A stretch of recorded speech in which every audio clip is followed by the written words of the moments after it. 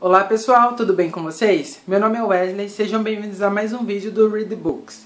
Hoje eu tô aqui para gravar para vocês 5 motivos para vocês lerem Para Sempre Alice, da escritora Lisa Gênova.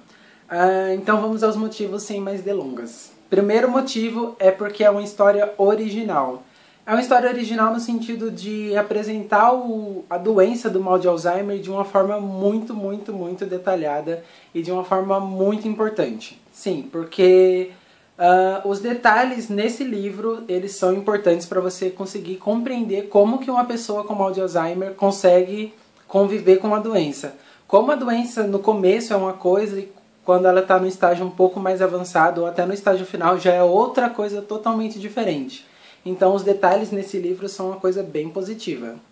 Uh, segundo motivo é, é uma história emocionante. É uma história emocionante, isso é óbvio, porque vai contar sobre uma pessoa que tem o mal de Alzheimer.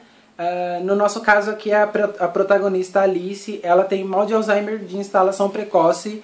Isso porque ela está com mal de Alzheimer aos 50 anos de idade e isso não é normal. O normal do mal de Alzheimer se instalar normalmente é aos, a partir dos 70, entre 60 e 70 anos. E ela tem apenas 50 e já tem a doença, então é uma instalação precoce e isso emociona muito pelo seguinte ponto.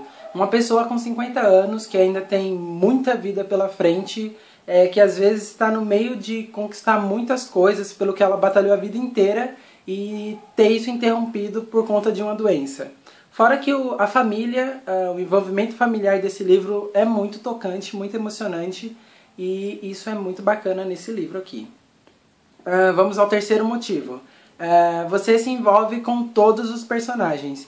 E sim, gente, os personagens desse livro são maravilhosos. Todos são muito bem desenvolvidos. Uh, desde a, da Alice, que é a nossa protagonista principal, que é de, um, de uma desenvoltura enorme, extrema, até os filhos dela, que são protagonistas que aparecem com menos frequência, Sim, também são muito bem desenvolvidos. O médico, o médico que cuida dela, que faz o acompanhamento dela, também é muito, muito... É... Ah, gente, não sei nem o que dizer. Ele é muito perfeito na, na forma como ele foi criado aqui na história. E isso é muito legal. Você consegue entender cada ponto de vista, o ponto de vista de cada personagem, tanto dos membros da família, quanto dos amigos, quanto do próprio médico. E da Alice, principalmente, isso é muito legal. Então, você se envolver com o personagem é o terceiro motivo para você ler esse livro. O quarto motivo, a escrita é clara e objetiva, às vezes um pouco poética. É, como assim? A escrita, gente, não tem nenhum segredo. É, obviamente que tem algumas partes mais técnicas até para, para conseguir explicar como a doença funciona, como que os, os tratamentos e tudo mais. Mas isso não é dificultoso para você entender, não vai ser uma parte difícil de você entender no livro. A escrita da Lisa Gênova, da escritora, né, é muito clara, muito objetiva. Ela não fica de lenga-lenga, de enrolação, tentando encher linguiça para depois contar a história. Ela vai direto ao ponto e sem, sem, sem, sem ficar enchendo linguiça, enfim.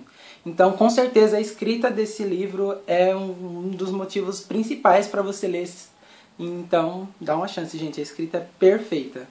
E o quinto e último motivo que eu vou, e último motivo que eu vou citar aqui para vocês é um livro que pode que aborda um tema que pode acontecer com qualquer pessoa.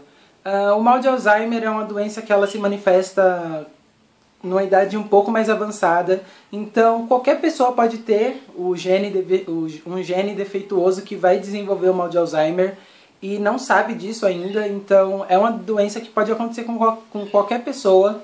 Enquanto eu li esse livro, eu me coloquei no lugar da protagonista porque eu fiquei pensando assim, e se fosse comigo?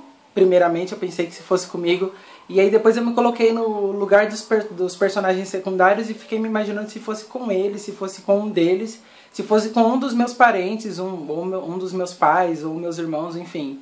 Como que eu reagiria, como que eu como que eu não sei, gente, como eu reagiria a tudo isso, a toda essa informação, porque você ser diagnosticado com uma doença que não tem cura é, deve ser bem perturbador, bem difícil, então eu me coloquei no, no lugar dos personagens justamente por isso.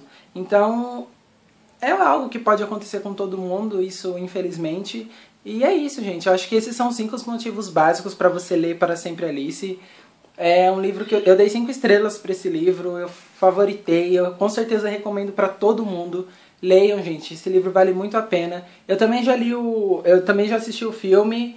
É, e a atuação, a atuação da Julianne Moore está perfeita, ela conseguiu se enquadrar perfeitamente no papel da Alice. E o filme também é muito bom. Obviamente, com poucos detalhes da história, esse livro aqui é com certeza, gente, tem que ser lido, tem que ser lido. Leiam, por favor. Leiam para sempre Alice. Depois, se você já leu, deixa aqui nos comentários o que você achou da leitura. Se você gostou tanto quanto eu. É, se você não leu ainda, leia, gente. Leia e depois vem aqui comentar porque vale muito, muito, muito a pena. E é isso então hoje, pessoal. O vídeo de hoje é isso. Eu espero que vocês tenham gostado. Leiam para sempre Alice, curtam esse vídeo, compartilhem para os amigos de vocês. Se inscrevam se você ainda não é, se inscreva se você ainda não é inscrito. E é isso, pessoal. Só tenho a dizer para vocês, leiam para sempre Alice porque é um livro perfeito. Um beijo e tchau, tchau.